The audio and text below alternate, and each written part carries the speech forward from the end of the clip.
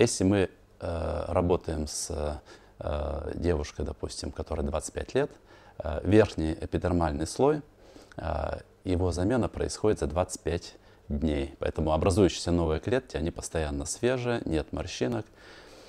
У 55-летнего те же процессы, они примерно происходят за 55 дней.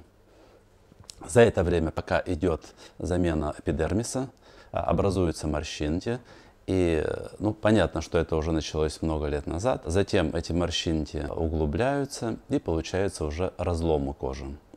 Чтобы этого не произошло, если мы начинаем работать, допустим, в 30 лет, делать эту процедуру, и эта процедура э, в первую очередь это мягкий пилинг.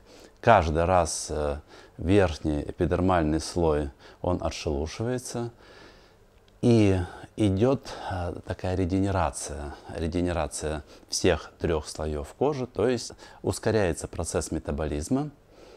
И э, в 30 лет уже мы можем вот замену эпидермиса э, сделать за 25 дней.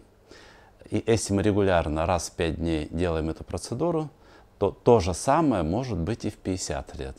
То есть 50 лет у нас не будут образовываться морщинки, разломы кожи.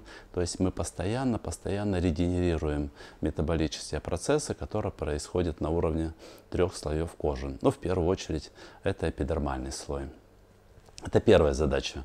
Как тело и лицо э, сохранить молодыми.